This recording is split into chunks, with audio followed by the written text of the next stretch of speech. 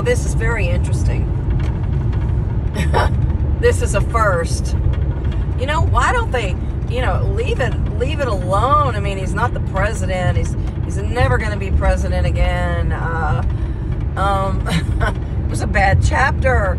It was a misogynistic and racist chapter, folks. Oh, can't believe sometimes. I mean, this is my state, you know. This is where I live now, but these, these are not my people. These are not my tribe.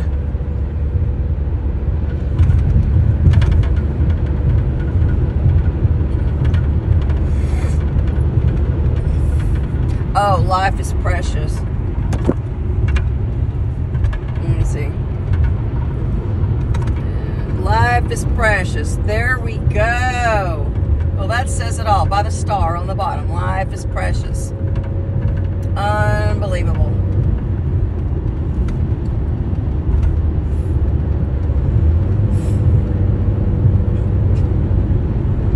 I love getting a glimpse of these people, though.